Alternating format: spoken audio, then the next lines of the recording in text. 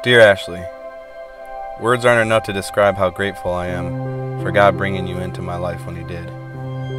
It blows my mind to think back on how initially I never thought I'd be deserving enough to date you, let alone to marry you. While going through difficult times before we even considered our relationship, you were there as my best friend. You called me out and gave me much needed tough love I wasn't used to. Because of the unconditional love you showed me, you've shown me.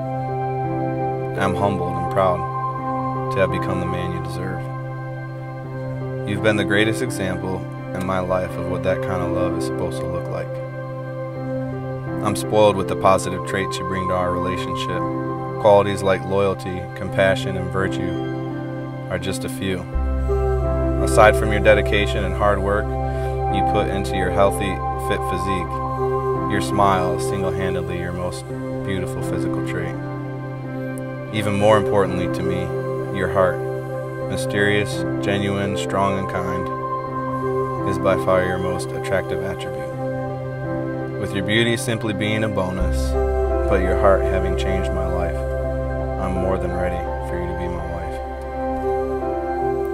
P.S. As I desired to customize your gift to reflect found it more appropriate for the diamond representing your heart to show even purer, be larger in size, and set higher to be recognized. Please accept this gift as a symbol of how much your heart means to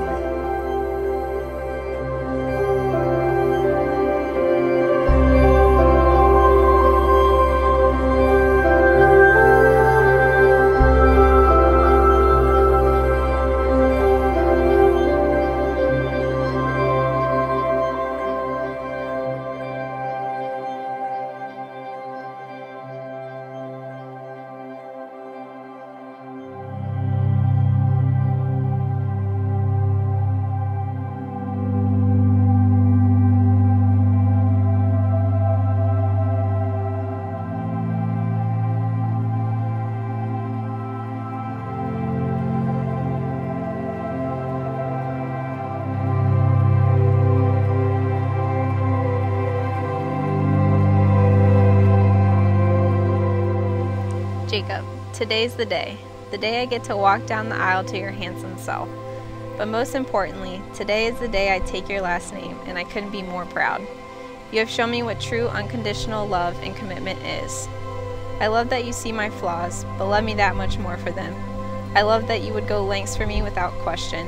And I love that you are the person I turn to for opinions, tough love, and a shoulder to cry on. You make me a better person, and you never let me settle for less. I love you more than anything, and I could not imagine my life without you in it. So today, when people ask me if I am nervous, I say no because I am committing my life to my best friend, my soulmate, and my life partner.